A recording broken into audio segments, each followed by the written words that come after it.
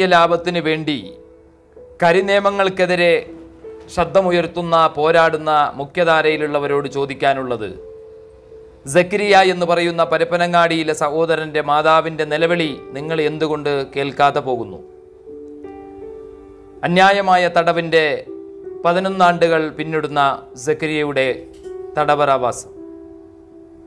പത്തൊമ്പതാമത്തെ വയസ്സിൽ മൊബൈൽ കടയിൽ ജോലി ചെയ്തിരുന്ന സക്കരിയ എന്ന് പറയുന്ന ചെറുപ്പക്കാരനെ എല്ലാവിധ നിയമലംഘനത്തിന്റെ ഭാഗമായി കർണാടക പോലീസ് കസ്റ്റഡിയിലെടുത്ത്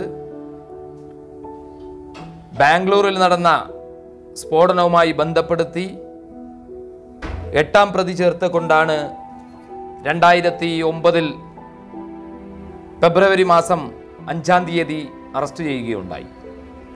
എവിടെയാണ് സക്കരിയ എന്ന് ചോദിച്ചപ്പോൾ സക്കരിയ എവിടെയെന്ന് വീട്ടുകാർക്ക് അറിയുന്നില്ല. തൊട്ടടുത്ത പോലീസ് സ്റ്റേഷനിൽ ബന്ധപ്പെട്ടപ്പോൾ അവിടുന്ന് എന്താണെന്ന് അറിയുന്നില്ല.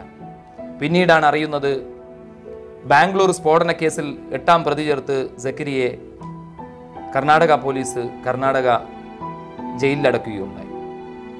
എന്താണ് സക്കരിയക്കെതിരെയുള്ള കുറ്റം? ബാംഗ്ലൂർ നടന്ന സ്ഫോടനത്തിലെ ഐ സി ഉണ്ടാക്കിയ ആളെന്നാണ് പറയുന്നത്.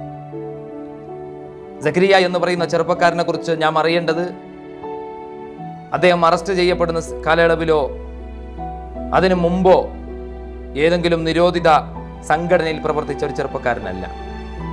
അറസ്റ്റ് ചെയ്യപ്പെടുന്നവരെ ഏതെങ്കിലും ഒരു പെറ്റി കേസിൽ പോലും പ്രതികരിക്കപ്പെട്ട ഒരു ചെറുപ്പക്കാരനല്ല. തന്റെ കുടുംബത്തിനെ പട്ടിണിയില്ലാതെ മുന്നോട്ട് കൊണ്ടുപോകുന്നതിന് വേണ്ടി ജോലി മാർഗം ജോലി ചെയ്തിരുന്ന സാധാരണക്കാരിൽ സാധാരണക്കാരനായ സക്കരിയ എന്ന് പറയുന്ന ചെറുപ്പക്കാരൻ പിടിച്ചുകൊണ്ടുപോയി കള്ളക്കേസിൽ ചാർത്തപ്പെട്ടു. രാജ്യത്തിലെ ഏറ്റവും കഠിനമായ നിയമമായ യു എ പി ചാർത്തു.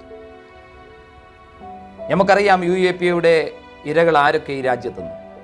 മുസ്ലിങ്ങളും ആദിവാസികളും പിന്നോക്ക സമുദായത്തിൽപ്പെട്ടവർ ഈ കാടൻ കരിനിയമത്തിന്റെ ഏറ്റവും വലിയ കരിനിയമത്തിന്റെ ഏറ്റവും കാതൽ എന്ന് പറയുന്നത് ഒരാൾ ഈ കേസിൽ യു എ പി ചാർത്തപ്പെട്ടാൽ തന്റെ നിരപരാധിത്വം പോലും തെളിയിക്കപ്പെടാനുള്ള സാഹചര്യമില്ലാത്ത ഒരു കാടൻ കരിനിയമമാണ് ജയിലിൽ തന്നെ കിടന്നുകൊള്ളും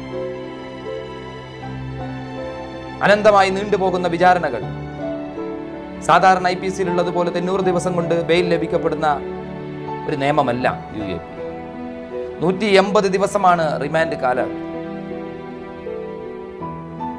ശരിയായ വണ്ണം വിചാരണ നടക്കുന്നില്ല സക്കരിയക്കെതിരെയുള്ള കേസ് മാതാവിന്റെ രോഗങ്ങളൊക്കെ അധികരിച്ചു കിടക്കുന്ന ആ ചെറുപ്പക്കാരൻ. അദ്ദേഹത്തിന്റെ ജ്യേഷ്ഠൻ സഹോദരൻ മരണപ്പെട്ട വിഷയം നമുക്കറിയാം. ഈ പീഡനങ്ങളെ ഏറ്റുവാങ്ങിയ മാതാവിന്റെ നിലവിളി.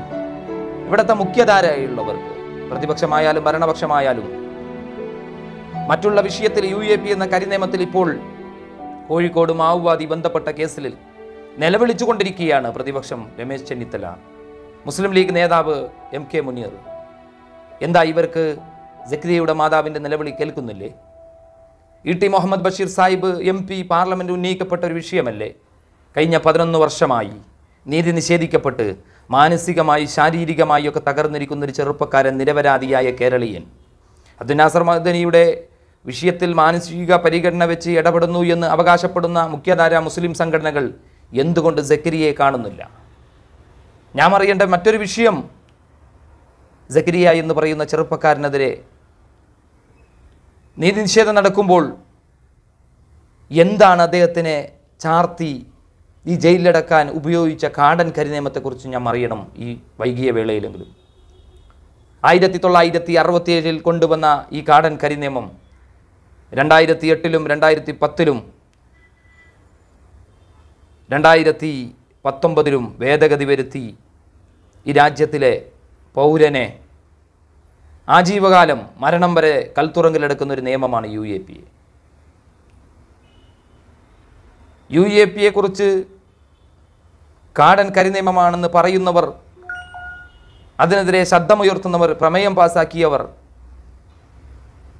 ആ നിയമത്തിന്റെ ഭവിഷ്യത്തിനെക്കുറിച്ച് ആ നിയമത്തിന്റെ ഭീകരാവസ്ഥയെക്കുറിച്ച് പ്രസംഗിക്കുന്ന ഇടതുപക്ഷമായാലും എന്തുകൊണ്ട് മുഖ്യമന്ത്രിയായാലും സക്കരിയ എന്ന് പറയുന്ന നിരപരാധിയായ രണ്ട് സാക്ഷികളിൽ അറിയേണ്ട കാര്യമാണ്. ബാംഗ്ലൂർ സ്ഫോടന കേസിലെ പ്രതി എന്നാരോപിക്കപ്പെടുന്ന സക്കരിയ ഐ സി ഉണ്ടാക്കുന്നത് കണ്ടെന്ന് കള്ളസാക്ഷി ഉണ്ടാക്കി കോടതിയിൽ പ്രൂവ് ചെയ്യാൻ പറ്റുന്നില്ല. അനന്തമായി കേസ് നീട്ടിക്കൊണ്ടുപോകുന്നു. ആ ചെറുപ്പക്കാരൻ മാനസികമായി ഒരുപാട് രോഗങ്ങൾക്ക് അടിമപ്പെട്ടിരിക്കുന്നു. തടവറ സമ്മാനിക്കുന്ന രോഗങ്ങൾ. ഇവിടെ പതിനൊന്നാണ്ട് പിന്നിടുന്ന സക്കരിയയുടെ ജയിൽവാസത്തിൽ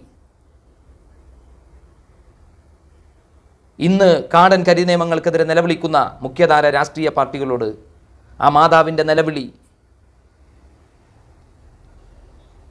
ഒരു മകനെ ദൈവം അള്ളാഹു പെട്ടെന്ന് വിളിച്ചുകൊണ്ടുപോയി ആ വേദനയിൽ നിൽക്കുമ്പോൾ മറ്റൊരു മകൻ കഴിഞ്ഞ പതിനൊന്ന് വർഷമായി.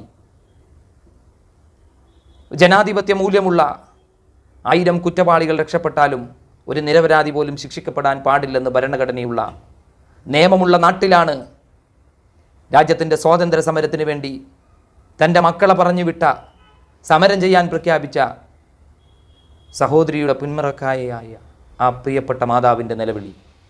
സക്കരിയക്ക് നീതി ലഭിക്കപ്പെടണം. ഇവിടുത്തെ മുഖ്യധാര രാഷ്ട്രീയ പാർട്ടികൾ അതിനുവേണ്ടി ഇടപെടൽ നടത്തണമെന്നും ഇനിയെങ്കിലും നിങ്ങൾ ശബ്ദമുയർത്തണം. നിങ്ങളുടെ ഈ കപട രാഷ്ട്രീയ വോട്ട് രാഷ്ട്രീയത്തിന് വേണ്ടിയുള്ള ഇടപെടലല്ല സത്യത്തിൽ ആവശ്യം ഫാസിസ്റ്റുകൾക്കെതിരെ ഭരണകൂട ഭീകരതയ്ക്കെതിരെ ശക്തമായ ഇടപെടലാണ്. അതുകൊണ്ട് ജക്കരിയയുടെ ഈ തടവറാവാസം പതിനൊന്ന് വർഷം പിന്നിടുമ്പോൾ ഭരണകൂട ഭീകരതയ്ക്കെതിരെ ഓരോ പൗരനും പോരാടേണ്ടത് ബാധ്യതയെന്ന് പറഞ്ഞുകൊണ്ട് എന്റെ ഈ വാക്കുകൾക്ക് ഇവിടെ വിരാമം കുറിക്കുന്നു.